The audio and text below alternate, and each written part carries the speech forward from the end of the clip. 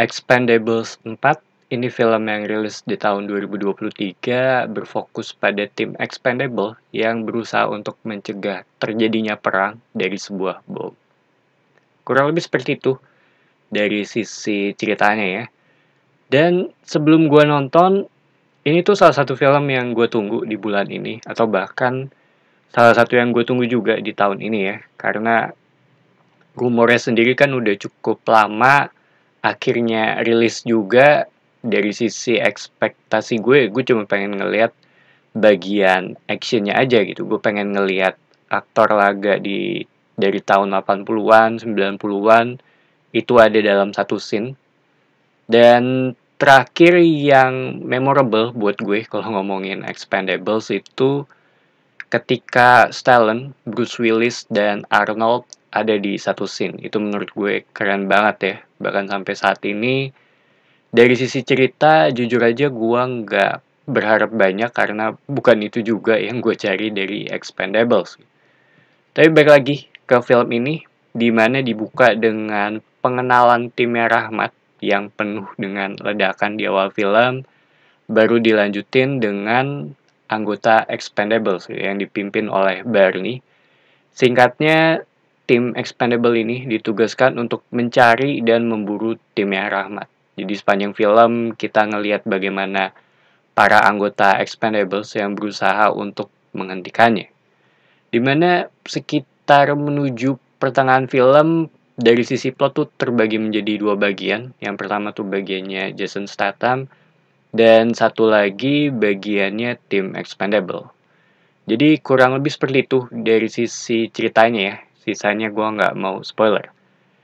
Dan setelah gue selesai nonton, jujur aja gue ngerasa seperti oh udah nih gini aja filmnya. Jadi ya seperti tontonan yang lewat begitu aja gitu. Kalau dibilang menghibur, buat gue ya lumayan menghibur dan nggak bisa dibilang jelek juga karena ini film yang secara pacing tuh buat gue sendiri enak sebenarnya untuk diikutin. Gue nggak bosen karena dari sisi cerita terus berjalan ya. Dan terhitung to the point juga. Cuma balik lagi ini bukan film expendables terbaik kalau menurut gue gitu. Atau bahkan berada di posisi atas juga kali ya. Banyak hal yang kurang kena di gue selama gue nonton. Contoh paling gampang tuh anak laki-laki jenderal ya yang ada di awal film di mana nggak ada ekspresinya di kondisi tersebut gitu mukanya itu flat banget. Terus dari CGI beberapa tuh kelihatan seperti bohongan terutama backgroundnya.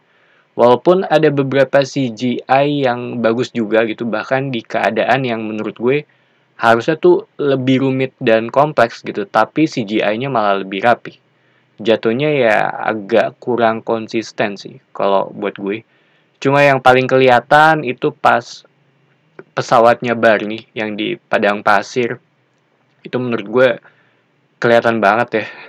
Dan gue nggak tahu apa karena mereka dikejar oleh tanggal rilis atau balik lagi ke masalah budget. Selain itu, porsinya Stallone juga nggak banyak di sini dan mereka tuh mengakali dengan bagian ceritanya ya. Sebenarnya gue sih agak sedikit kecewa dengan hal ini karena gue kira seperti di film-film sebelumnya itu bagian Stallone dan Statham tuh yang memegang cerita gitu. Cuma sayangnya di sini enggak. Dan katanya ini juga film terakhirnya Stallone ya di Expendables di mana Ya, gua nggak heran sih ya, mungkin masalah kesehatan juga sepertinya. Dan gua agak kurang yakin kalau ini bisa dilanjutin oleh Statham sebagai leadnya gitu.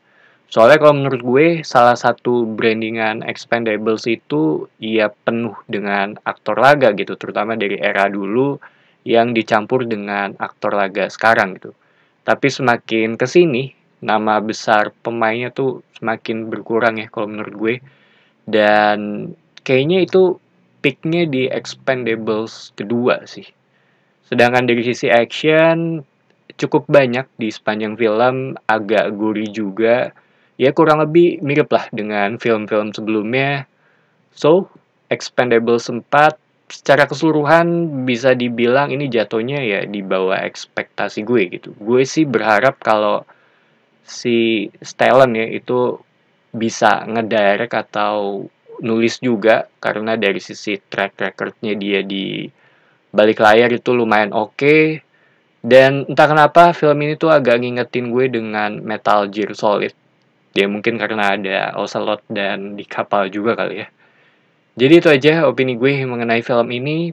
Thank you for watching. It's me Patrick signing off